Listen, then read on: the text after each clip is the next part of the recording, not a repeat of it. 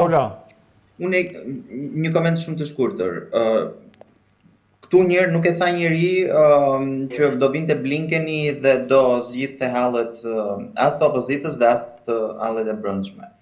ë Unë ndaj e theksova që ishte një vizitë në këndvështrimin tim të paktën, ishte një vizitë gjeopolitike. ë Për motivet që sqarova.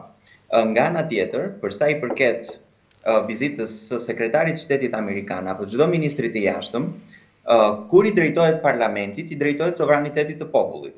Në qoftë se do takojë përfaqësuesit e mazhorancës, nga ana tjetër, unë mendoj se mirë do ishte të takonte edhe përfaqësuesit e opozitës, që shprehin këtë vullnetin e gjashtëqind e ca mijë njerëzve që i kanë votuar. Unë nuk po them natyrisht që do vete të takonte zotin Berisha, por mund të takonte disa përfaqësues për të dhënë këtë mesazhin e cilët përfaqësues për shembull cilët cilët keni në mend ju për shembull gjithë vetëm një rënën do të thotë që je bërë pjesë e politikës së brendshme cilët përfaqësues opozita së pari nuk ekziston sepse është në revolucion Ata vetë jo, kanë pra, thënë. Unë e kam se ju, ju doni ta kanalizoni uh, me do e mos uh, tek Jo, jo, po të jap analizën politike. Ku ta gjej atë ai përfaqësuesin e opozitës se ata kanë thënë jemi në revolucion dhe kjo opozitë Atë çka nuk e bën Lavrovi dhe Ebu Bekir al-Baghdadi i ISIS-it, që të akuzonte Amerikën për korrupsion e kanë bërë këta. Kanë dalë aty dhe kanë thënë që non grata e këtij është produkt i lobimit korruptiv të Xhorxh Sorosit. Atëherë si me, në qoftë se ke bërë këtë, në qoftë se ke bërë këtë,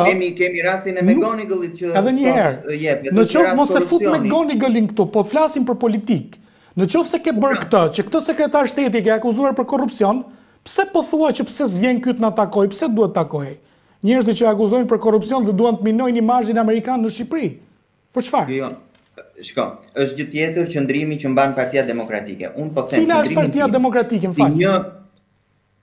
Unë po them qëndrimin tim si një individ që vjen nga një E respektoj, Nikola, qëndrimin tënd, por them që nuk është ashtu sepse nuk ka parlament. Do të shkonte Blinkeni në parlament? Po të flasim mbi njëri-tjetrin. Të mbaroj vetëm linjën e logjikës, dy fjali kam vetëm. Unë them, në opozitë janë dhe ato shtresa të persekutuara, të cilës i përkas edhe unë, që dyzet e pesë vite kanë vuajtur nga komunizmi. Kanë vuajtur nga nga ajo parti paraardhëse e partisë që drejton sot Shqipërinë. Dhe kur shikoj një sekretar shteti që këto, këto grupime të popullsisë, pronarët legjitim, të persekutuarit që e kanë pritur Amerikën ato 45 vite që të vinte dhe të sillte modelin këtu të tregut të lirë, të institucioneve të forta, të demokracisë. Ky përfaqësues i këtij shteti i, që supozohet të ketë këtë sistem, e shpër e shpërfill opozitën në për të mos përdorur ndonjë fjalë tjetër, po në rastin më të mirë e shpërfill. Unë personalisht nuk e shikoj si një gjë të mirë këtë gjë, sepse zoti Blinken nuk vjen që t'i bëj një nder as Gaz Bardhit, as Sali Berishës dhe as dikujt tjetër që është në opozitë.